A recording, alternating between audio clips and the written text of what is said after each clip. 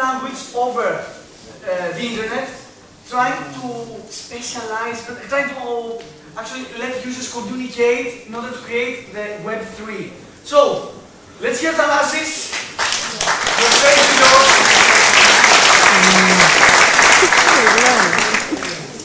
Hello.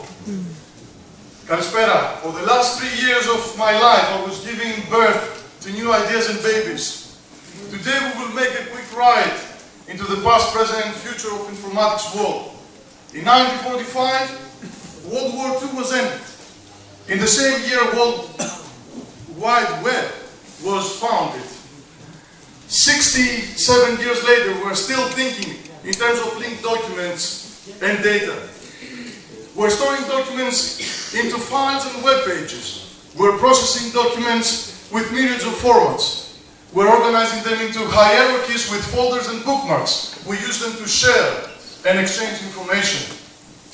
So far, the digital document is the main vehicle for information exchange. In 1994, Tim Berners-Lee and others gave document an address for retrieving purposes. They named it Uniform Resource Locator. URL is still the core mechanism of web. It is a hyperlink documents. The semantic web, though, overloaded URL with identity and naming of web resources, and that led to the identity crisis. In spite of the 10 years of evolution of the semantic web, the problem is still with us.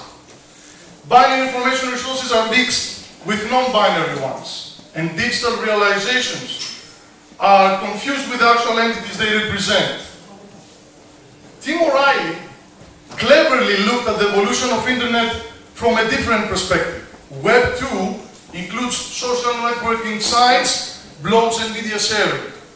It offers rich user experience and participation, dynamic content and collaborative authoring. But Web 2 carries the same architectural problem as its predecessor. There is a gap between the presentation of information to the user and the representation of information for machines. Let me start with an easy problem. What is the difference between Web 2 and Web 3? The answer is 1. Because it unifies two different perspectives. The end user perspective and the technical user one, also known as GGG or Giant Global Graph. In the future, the end user will have his own decentralized, specialized, personalized, eponymous social networks and portals, as well as concept maps. Look at the board, they're drawing them right now. And that illustrate actually a complex problem and a new navigation and search method.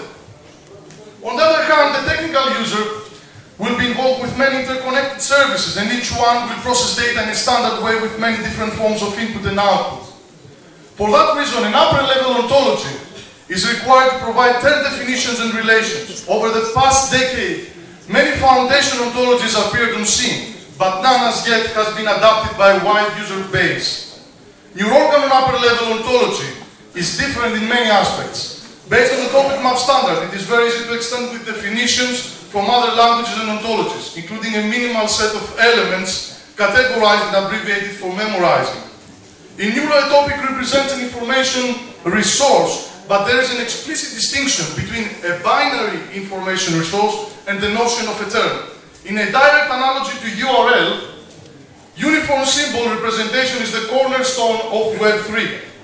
USR references everything, including files and web pages. Therefore, NULO vocabulary includes those terms and relations between them that are necessary for auditing and annotating purposes. Last but not least, NULO intuitively suggests new ways for modeling n-ary undirected relations. It introduces the variables, term, and the role of attributes as arguments in a relation. Okay, this is more than enough detail for the moment. Why I started all this? The first reason is my intention to organize and share my collection of bookmarks. Soon I realized that neither tagging nor hierarchical, hierarchical classification was close to what I was aiming for. The second reason is related to the Mendeley open source project. I have studied thoroughly HL7 models, health standards, entity relational schemas, and it seems to me that the holy grail of health interoperability is interwoven with web evolution. Let's recapitulate. Our trip to the mysterious world of digital information has now ended. But I urge you to continue the exploration. We all need to find a map and a compass to carry on with our journey. With the public release of NULO, let us proclaim the ignition of Web3 for a prosperous and effective communication. Thank you for your attention.